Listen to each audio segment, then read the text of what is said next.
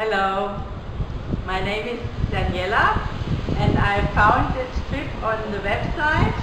We were we are a family of four and we are always looking for adventure. That's why I have chosen that tour for us.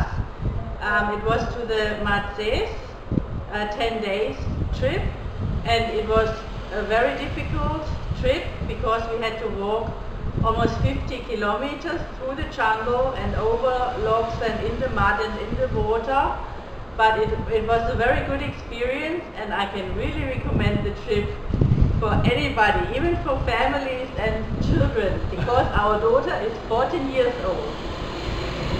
Okay, I'm Michael, and well, definitely it's not a trip for, let's say, a standard tourist.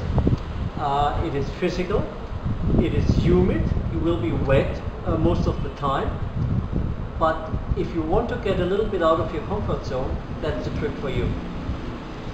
Uh, I'm Ina and it, you get to do a lot of stuff with um, the native people.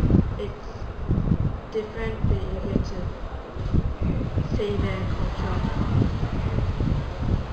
Um, yeah, my name's Jan, and I definitely like a, a challenge and something out of my comfort zone. And um, yeah, along the way, just all the activities and um, the things we did was, really good and well organised.